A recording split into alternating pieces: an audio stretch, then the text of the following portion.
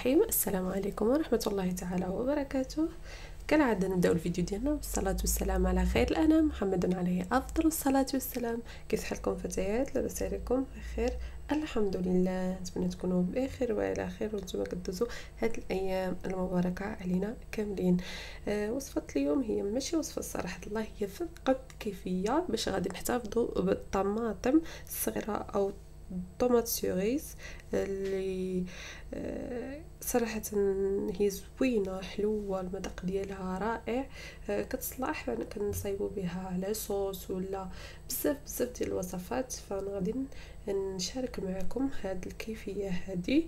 آه، أول حاجة غنحتاجو مطيشة كيف كتشوفوا كنغسلوها مزيان. بعد ما كنغسلوها كنقيوها ونحاولوا نحاولوا نحيدوا لها داك الراس اختياري. اللي بغيتو تخلوه ماشي مشكل كنقسموها في النصف وكنستمروا هاد الطريقة هذه حتى كنكملوا الكمية ديال الطماطم اللي عندنا كلها. بعد ما سالينا غندوزو للمرحلة الثانية.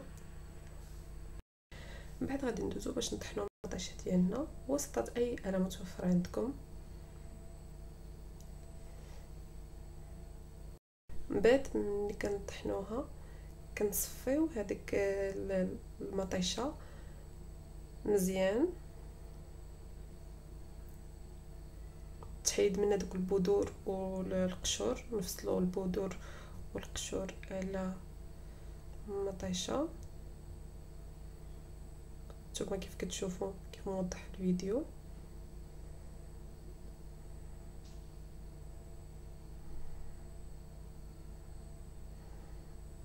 كنخلطها باش كينزل لي العصارة ديال الطماطم.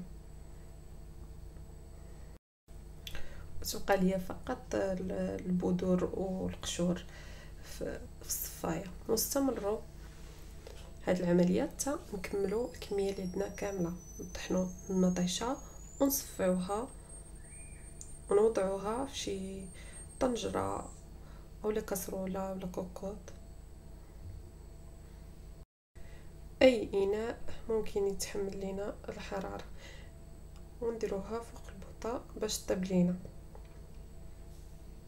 نديرو شوية ديال الملح.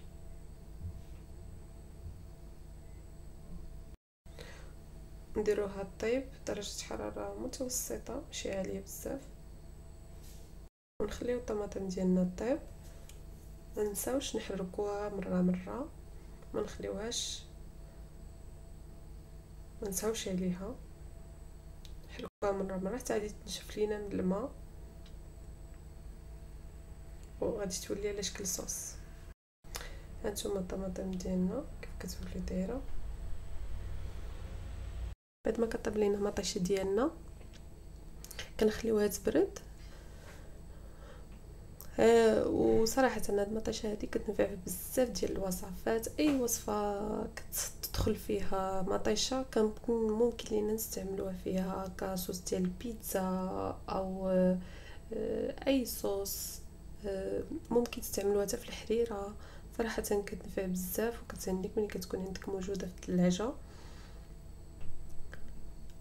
وطريقة سهلة وبسيطة باش كتحتفظي بها بعد ما بدات لينا لاصوص ديالنا كنديروا عصات أو ميكات آه، حسب الرغبة. وكنحتفظوا فيها بها في المجمد. الساعة اللي نحتاجوها تنجبدوها.